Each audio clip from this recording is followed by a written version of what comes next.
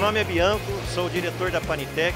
Estamos participando da FIPAM 2017, trazendo nossas máquinas para a produção de pão de queijo, produção de pastel, empanadas, folheados, máquinas para a produção de salgados e os lançamentos cilindro multirolos para massa de pastel, cilindros laminadores com mesa de corte acoplada e entre outros lançamentos.